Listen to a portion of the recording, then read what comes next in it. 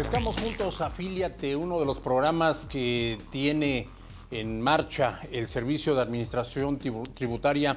El año pasado, como bien lo comenta el licenciado Víctor Bastida, tuvimos por aquí la presencia de usted, del titular del Instituto Mexicano del Seguro Social en Oaxaca y del Infonavit. Nos platicaban sobre este ambicioso proyecto, involucrar a gente que se dedica al trabajo informal, a la formalidad.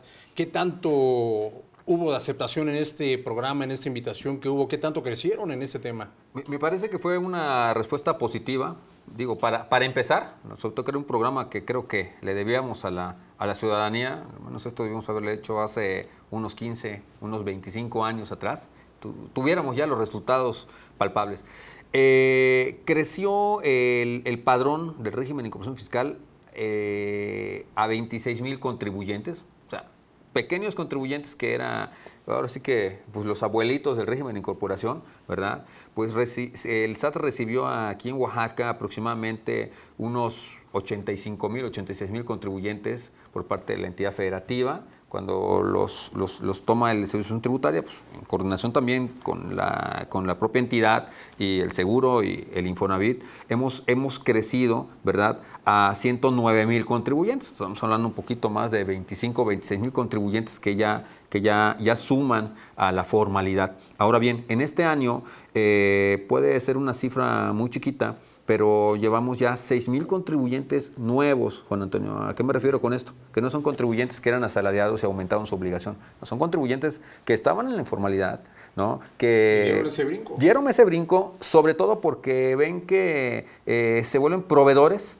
de cadenas importantes como son los restaurantes, ¿no? como pueden ser también eh, eh, pues las, las, tiendas de autoservicio de, conveniencia. Y, ahí es donde vamos viendo que el emitir una factura se vuelve ahora sí que una cadena de favores, ¿no? se vuelve una, una, cadena virtuosa, ¿no? porque además de que considero que alguien ya paga contribuciones, a mí me sirve. ¿no? Hay tantos proveedores de gran calidad en informalidad de veras que, vale la pena el que volteemos a ver, y más que condicionarlos para que trabajen con nosotros, es hacer una reflexión de los beneficios que pueden tener.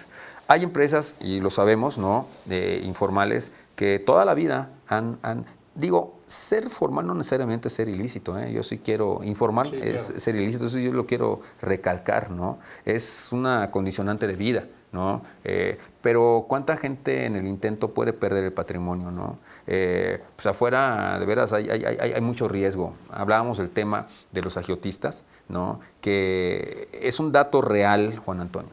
Eh, llegan a pagar por intereses, ¿no? por financiamiento, decirlo bonito, ¿no? hasta el 60% adicional.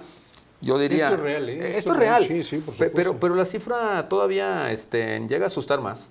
Cuando bueno, tú piensas, bueno, pues es anual, como sea, la manejo. No, no es anual es diaria, ¿sí? es diaria Esta, esta, esta, esta, esta bronca, sobre todo con el, con el desánimo de poder perder tu, tu, tu, patrimonio, tu, negocio. Ahora, lo que está haciendo ahora el gobierno federal es proporcionar esos beneficios directamente. Hablábamos en el corte del INADEN. Sí. El INADEN está inclusive proporcionando créditos eh, financieros a fondo perdido.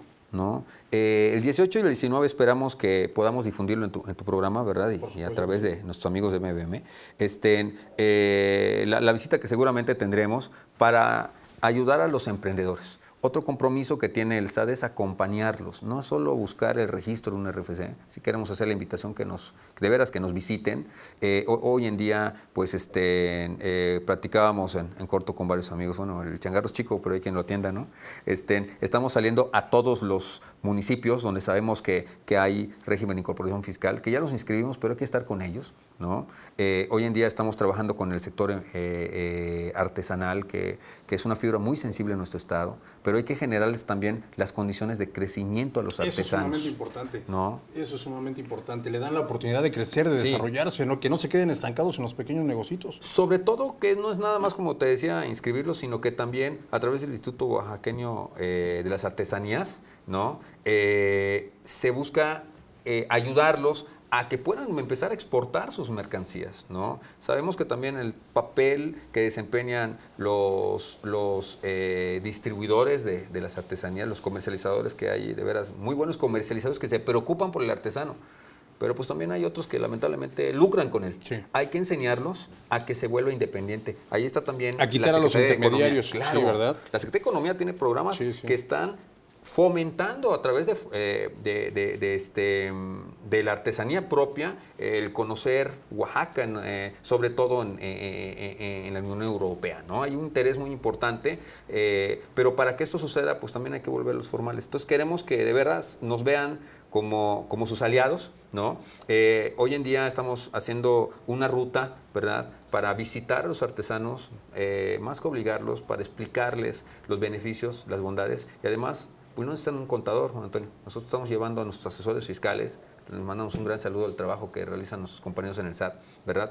Para que precisamente estén, gratuitamente puedan hacer declaraciones, puedan obtener una factura, ¿no? Puedan eh, registrar sus ingresos y sus gastos en el programa este, eh, establecido para, para, para el régimen de incorporación fiscal, para mis cuentas, y por supuesto presenten las declaraciones.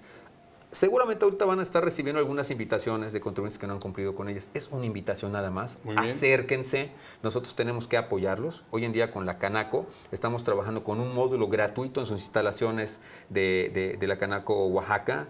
Eh, me parece que es en la calle de Guerrero. ¿no? Hoy estamos a punto de abrir un nuevo módulo también en la Universidad eh, Mesoamericana que está cerca también de las oficinas de García Vigil. Y bueno, pues también la gran sorpresa que Canacintra, eh, a través de nuestro eh, buen amigo Jesús, ¿verdad? Este, el presidente de, la Cámara, ¿verdad? Jesús Rodríguez. Socorro, estén, pues está también preocupado para que eh, la cúpula empresarial ofrezca este servicio a los informales puedan gratuitamente tener todo el apoyo y el respaldo de declaraciones, emisión de facturas, inscripción Vamos a abrir pronto un, módulo también con ellos, con el único ánimo, ¿verdad?, de poder eh, difundir ¿verdad? Enseñar. Ese es un gran enemigo que tenemos. creo que el enemigo que tiene el Estado ahorita no es tanto la evasión, sino como la desinformación. La desinformación, exactamente. Y, creo que eso es importante para que nuestros amigos empresarios pues tomen la, decisión de, sumarse a la, formalidad. Bien, pero están acercando los medios, como usted lo comenta, el SAT se está acercando a la gente. Hay estos programas de crecimiento, este, este programa de, de apoyo a fondo perdido se me hace sumamente importante, licenciado Víctor. Eh, quizá tengamos un pequeño negocio, pero por cuestiones eh, económicas no puede despuntar, no, puede, no podemos hacerlo crecer. Hay que buscar este, este tipo de programas. y sobre todo, puedes tener ahora una casa habitación, ahorita Infonavit ha estado empujando bastante los programas precisamente sociales, ¿no? De casa habitación, inclusive para crecer habitaciones, ¿no? Hay casas que nada más traen una habitación. Pues ahorita pues tener una habitación digna, pues esto te lo da precisamente la formalidad y bueno, la que te puedo decir, la seguridad social. A veces el, atender una enfermedad crónica ¿ah? que, se convierte como tal, bueno, este, acaba con el patrimonio de, de nuestros amigos este, empresarios. Entonces, pagar una cuota al 50% en el Seguro Social, bueno, esto abre las puertas no solo para el propio empresario, que ahora ya puede hacerlo de forma voluntaria, a sus trabajadores, a su familia, ¿no? Entonces yo creo que hay que, hay que reflexionar un poquito de que, bueno, esto está empezando, ¿no? Por supuesto, entendemos que hay una resistencia normal, pero creo que si empezamos a ver los beneficios que esto verdaderamente genera, pues ah, hay que asumarse, ¿no? Vamos en el primer año de esta reforma hacendaria. Es correcto. ¿Cómo, ¿Cómo, vamos en ese tema, licenciado? Pues me parece que, como bien comentamos un momento, eh, Juan Antonio, pues es, es, explicarle a la gente, ¿no? Es, es un trabajo de, de culturización, ¿no? De, de, de empezar a, a, ver los beneficios que trae en todos los aspectos, no solo en el régimen de composición fiscal, sino también eh, en, en, el régimen establecido para, para el sector primario, ¿no? Que prácticamente antes eran reglas de carácter general, ¿no? Y ahora es un articulado particular que, trae la, ley y que le permite exentar del pago de contribuciones al sector primario, inclusive por 40 salarios mínimos, ¿no? Y que permite precisamente el apoyo directo a, este tan sensible, tan sensible sector, ¿no? Hay un programa que ya se le está dando mucha difusión, el Buen Fin. ¿De qué manera está participando el SAT en, este, en esa tarea, en ese programa? Bueno, prácticamente nosotros como, como Servicio Tributaria estamos difundiendo el, programa. Es un programa eh, coordinadamente con la Secretaría de Hacienda y Crédito Público. Lo que queremos es incentivar precisamente la economía fomentar eh, el, sobre todo el consumo interno aquí en, nuestro estado. Eh, invitamos a, los establecimientos comerciales que se sumen a este, a este programa, que por supuesto va a tener un beneficio directo a, nuestros empresarios. ¿no? Eh, ¿Qué buscamos? Buscamos que precisamente a través del uso de los instrumentos financieros como es la tarjeta de crédito, obviamente usada con toda la responsabilidad que debemos tener, ¿verdad? Este, eh, pues genere beneficios a, los consumidores. ¿no? Este programa va a tener inicio el viernes 13 ¿Inicia el viernes 13? Inicia el viernes 13 de noviembre y finaliza el lunes 16. y no es, necesariamente cabalístico, ¿verdad? Viernes 13. No, no, no, esperemos que no. esperemos que no. Eh, y que finalmente sí traiga un, beneficio a, la sociedad, a los consumidores. Eh, ¿qué, buscamos con este programa? Es que hayan consumos de 250, a partir de los consumos de 250 pesos hasta 10 mil pesos, ¿verdad? Puede haber la posibilidad de, que a través de, un sorteo electrónico este, se pueda eh, condonar la, la, la, deuda de las tarjetas de crédito que participan. ¿Comprando únicamente con tarjetas de crédito o de débito? Comprando únicamente con tarjetas de crédito o de débito, precisamente eh, en, los, eh, en los establecimientos autorizados que van a participar, este, se van a estar precisamente colocando adendas, calcomanías, del, del, logo del Buen Fin, donde pues vamos a poder identificar cuál es el comercio que, que va a participar, ¿no? E, ¿Esta reintegración de, de las compras es hasta el del 100%? Sí, por supuesto, es hasta del 100%. Eh, hay una, bolsa que la Secretaría de Hacienda y Crédito Público ha concedido de aproximadamente 500 millones de, pesos, inclusive, ¿verdad? En los que pues este, se podrían beneficiar eh, eh, todas las operaciones que participen. Seguimos platicando del buen fin. Hacemos una pequeña pausa. Licenciado Víctor Bacida Auditorio, estamos en Espacio Ciudadano, transmitiendo en el canal 152 de Cable. Vamos y regresamos.